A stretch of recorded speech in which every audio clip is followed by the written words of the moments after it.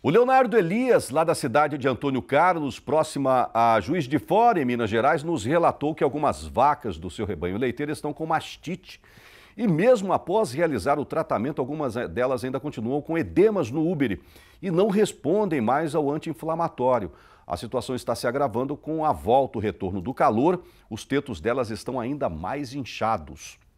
Bom, quem vai ajudá-la, né, quem vai ajudar esse produtor rural, quem vai ajudá-lo, o Leonardo, é o professor de medicina veterinária Guilherme Vieira, lá direto de Salvador. Diga lá, professor.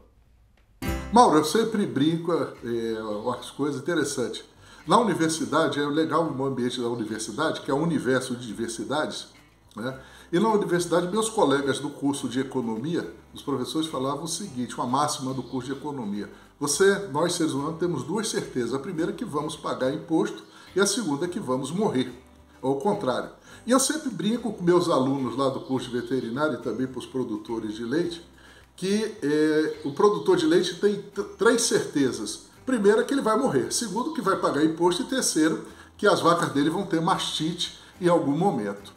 Né? Então, Mauro, dentro dessa perspectiva, a gente vê o seguinte: é, a inflamação do Uber é um, um quadro no qual apresenta edema, é inflamação. Esse animal provavelmente está sentindo muitas dores e apresenta inchaço. Essa inflamação do Uber pode ser de duas formas. Ou pode ser traumática, ela levou alguma pancada, ou de origem infecciosa vindo de mastite, que é o caso aí deste senhor.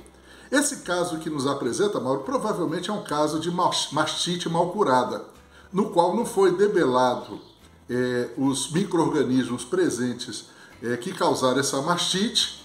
Ela teve uma falsa cura e provavelmente está sendo recorrente esse, esse processo de inflamação aí na vaca do nosso amigo aí.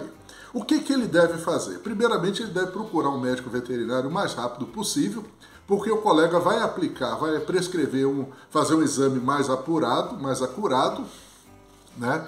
E prescrever uma antibiótico terapia junto com, conjugado com anti-inflamatório, é, durante pelo menos uns 14 dias aí de uso sistêmico aplicado e também de uso local, tá? Ele também deve observar alguns aspectos. Primeiro, observar a higiene da ordenha, a mão do ordenhador, se, se ele utilizar é, ordenhadeira mecânica, ver se essas ordenhadeiras estão sendo bem higienizadas, lavadas, se o ambiente da ordenha também é, está limpo, se está higienizado, se está correto, porque isso tudo são fontes de micro-organismos. Outra coisa, logo depois que esses animais serem ordeados, eles devem receber uma refeição, porque demora um período que está essa refeição, o Uber fecha. Então ela, ela vai deitar para não ser uma porta de entrada de micro-organismo.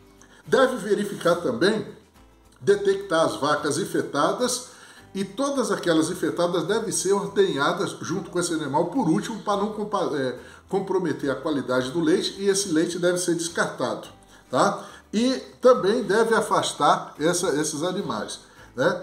É, outro detalhe interessante, Mauro, ele tem que observar como é que está o manejo da sua ordenha, né? Para ver se como é que ocorre para não ter maiores problemas e evitar de uma vez por todo todos esses problemas aí na fazenda dele. Por fim, Mauro, a mastite ela deve ser tratada, deve ser prevenida, porque ela causa prejuízos é, sanitários animais e principalmente prejuízos financeiros para o, o, o proprietário. Queria dizer, Mauro, que está vindo aí o um novo site do Farmácia na Fazenda. Podem acessar que vocês vão ter muitas informações. Muito obrigado e até uma próxima oportunidade.